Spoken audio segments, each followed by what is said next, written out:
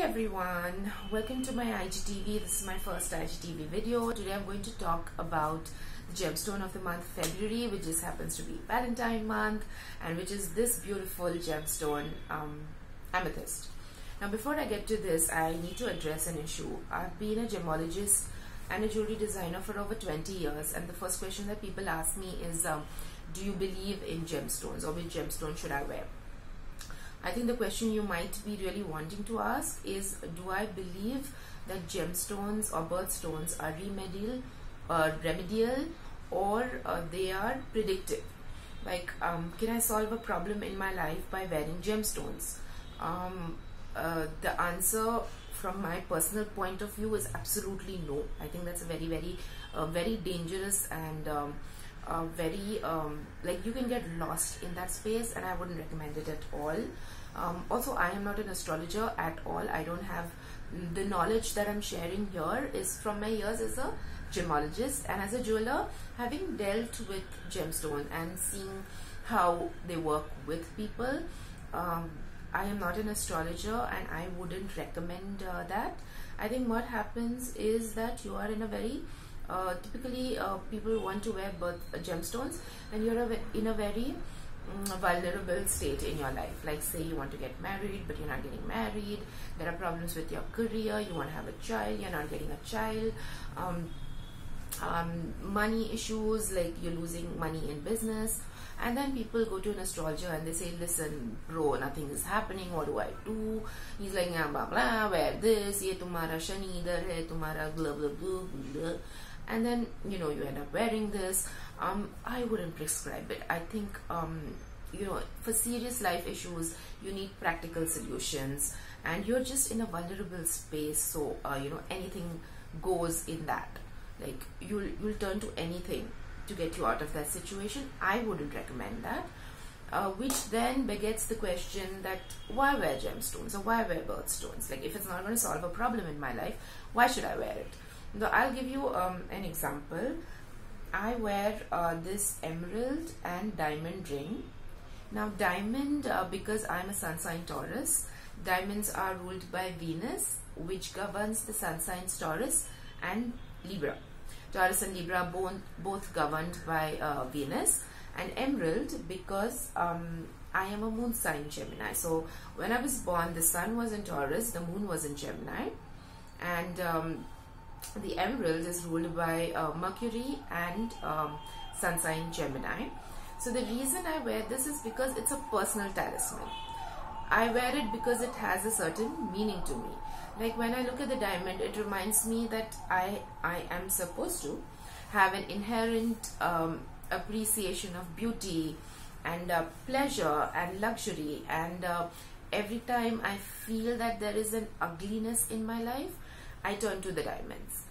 Every time I feel that I'm getting dull or, you know, sort of I am focusing a lot on the Taurus aspect of me, is very conventional, very boring, very focused, very practical, practical being the key word, then I turn to uh, to the uh, to the Mercury or uh, the Emerald Gemini because Gemini is all about communication. It's all about mental agility it's all about travel which is uh, Gemini is short distance Mercury is short distance travel long distance travel is uh, governed by Jupiter.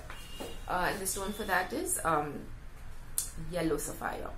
So um, I wear this because it speaks to me. I don't wear it to solve problems in my life and definitely not serious problems. I don't recommend that at all.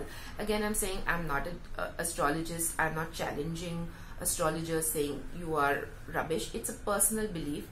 I don't believe in it. As a gemologist, I wouldn't advise uh, customers or clients to wear uh, gemstones for serious crisis in their life. So now coming to the stone for February. It's this beautiful lilac to purple amethyst. Now amethyst is ruled by the planet Uranus and the sun sign Aquarius. Uranus is all about change, about challenging conventions, about being rebellious, about being the odd one out, and um, the change that Uranus brings. Now, our generation, usually, like, I am born in um, the 70s, So the Uranus in for my entire generation, for that entire decade, was in Pluto, was in, well, I don't remember, where Uranus was somewhere. Like, if somebody knows where Uranus was for that uh, for that generation, please tell me. But Uranus is placed in one um, in one space for that entire generation because it's a very slow moving planet. So uh, the change that Uranus brings is very sudden. It's very eccentric. Like chal raha, chal raha, suddenly it will go like that. Or chal raha, chal raha, chal raha, suddenly it will go like that. So it will, you know, the changes are very eccentric.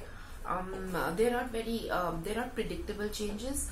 Uh, they're very eccentric, and wherever um, Uranus is in your horoscope, um, indicates where you will challenge convention so Uranus, if Uranus, um, you know, is in Cancer, you will, you know, your home life or your family life will be different.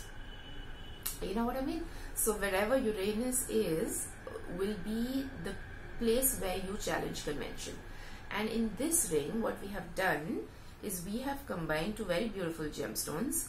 One is the convention challenging or the rebellious Uranus, and one is the pleasure loving Venus indicated by the diamonds.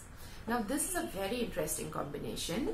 Uh, traditionally um, or cosmically, Uranus and Venus are friends. They get along. These planets get along. Unlike Sun and Moon, which don't get along with Uranus. Um, also, um, Emerald and um, um, the blah blah emerald and uh, diamonds are a very good combination because Mercury and uh, Venus gets along. Apparently Venus gets along with everybody. But um, um, Uranus and Venus get along really well. And I think this is a very interesting um, space for uh, lovers or partners because it gives a very um, unconventional tinge to love. So um, it's a it's a great choice if you're um, you know if you're wearing a combination. Or this is a single band that separates into two. So he or she can wear this and he or she can wear this. And you can be a same-sex couple. You can be a couple that chooses not to have children. You can be a couple who's living in. Um, it brings a sense of the unconventional, a sense of um, rebellion, a sense of excitement to love. So Uranus and Venus is, is a very, very interesting combination. I think if you're looking for an engagement ring or if you're looking for his and her rings for Valentine, Uranus and Venus is a really, really fantastic combination. So this was Uranus for February and I'll see you in March. Bye.